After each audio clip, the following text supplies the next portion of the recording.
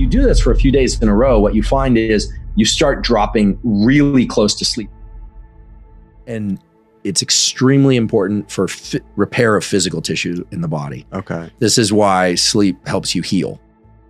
Hold your breath as Huberman's insights peel back the layers of sleep deprivation, exposing the detrimental effects on our physical and mental well-being, casting a stark light on the urgent need for revitalizing our sleep habits for a brighter future. The other thing is that many of the people waking up after four or five hours were supposed to go to bed earlier. Remember, melatonin puts you to sleep but doesn't keep you asleep. So many of these people might be going to bed at 11 o'clock, waking up at 3 or 4 a.m., oh, here I am again, when actually they need to go to bed at 9. Witness the transformational power of Huberman's expert advice as he unveils the keys to a restorative sleep routine, leading you on a journey from the darkness of sleepless nights to the blissful embrace of deep, uninterrupted slumber. Okay, so that's useful because most people don't know how to do that. It allows you to fall asleep faster, it allows you to stay asleep better. And the cool thing is so, this lab in Denmark showed that it replenishes levels of dopamine in this area of the brain called the basal ganglia, which are involved in motor commands. Prepare to rewrite the narrative of your nights as Huberman's expertise breaks through the barriers of sleep disorders, unveiling a world where insomnia is conquered, dreams are nurtured, and the gentle rhythm of rest envelops your weary soul.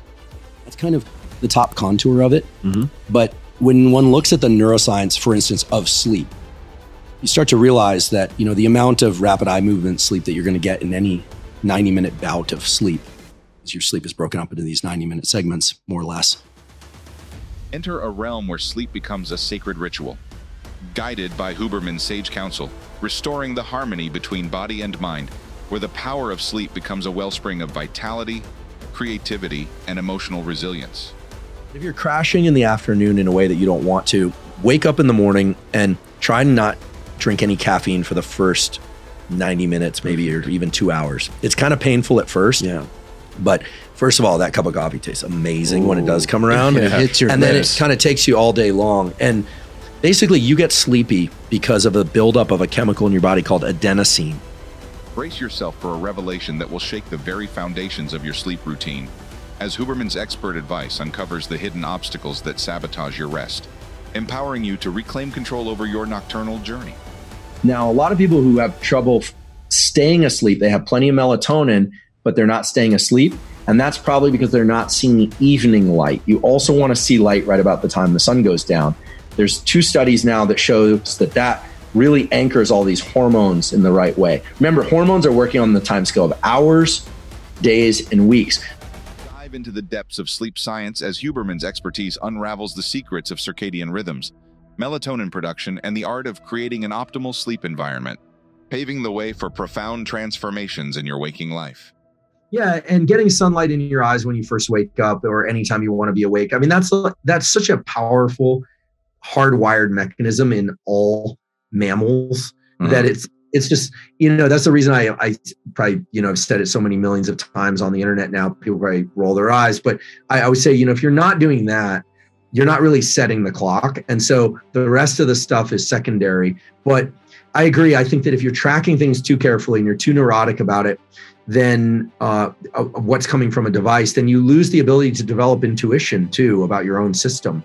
And um, and look, if you're excited about the next day, you're not going to sleep as much. Yeah. And there's actually a study showing that one of the major determinants of focus and alertness and wakefulness is how excited you are about what you're doing and it sounds almost like a, a, a, like a duh kind of result but what's very interesting is that even if sleep the night before is shorter by an hour or two if you have positive anticipation of the next day the quality of the sleep as as taken by EEG recordings, the quality of the sleep is actually much better. Huh. So there's something about, you know, there's a psychology to this stuff too. So I would hate for people to get so wrapped up and so neurotic about, oh, I only slept six hours. I don't know if I should train today. I don't know if I should study today. You know, I'm a ma-. like, the body is resilient. So if we were to stay up for a day and a half, you just are worked. You know, right. just exhausted you have a lot of adenosine in your system. When you sleep, that gets cleared out. Mm. Caffeine is an adenosine blocker. So when you drink caffeine, mm-hmm. you block the adenosine sort of places where it parks. We call it a receptor. Mm-hmm. But when the caffeine wears off, then the adenosine binds at much higher what we call affinity. Okay. And all of a sudden you just get with that adenosine crash. So when you when you wake up, you're and you're kind of groggy, your your body and brain are still clearing out that adenosine. If you hit the coffee right then, you're you're preloading a bit of a crash. There's no evidence that eight is better than six.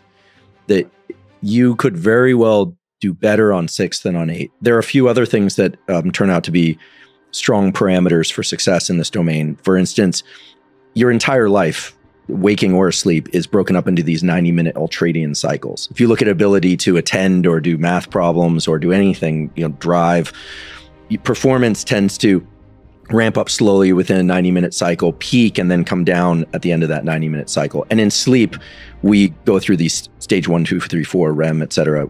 We'll talk more about that if you like. Those on 90 minute ultradian cycles as well.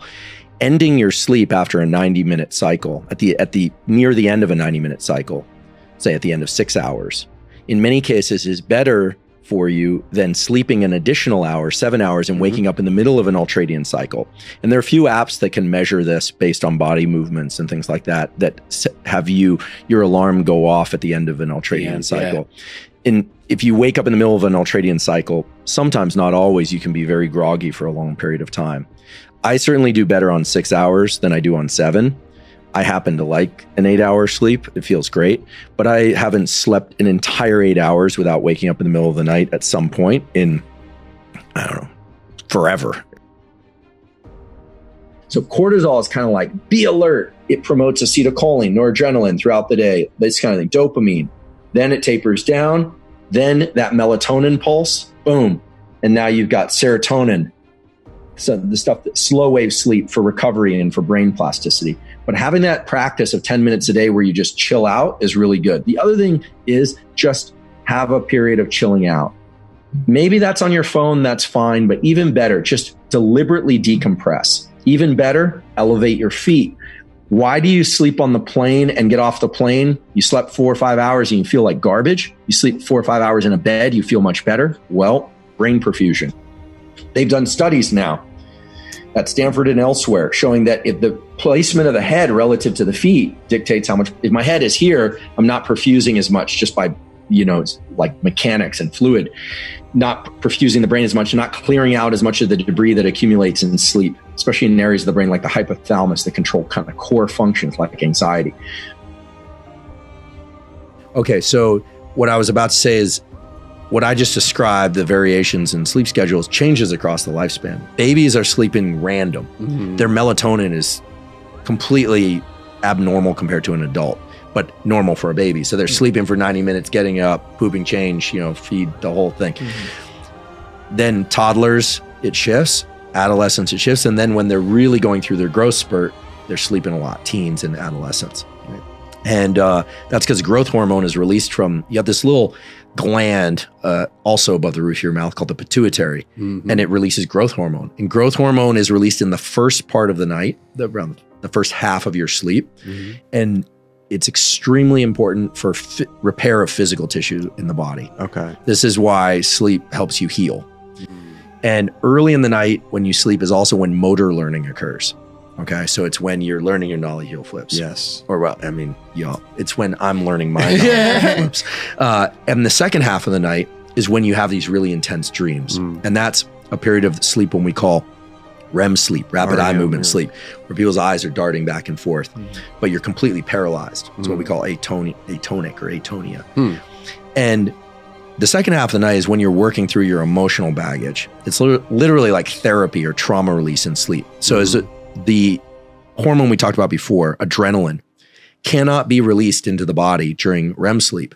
So, you're having these really intense dreams all about these emotional things that happened.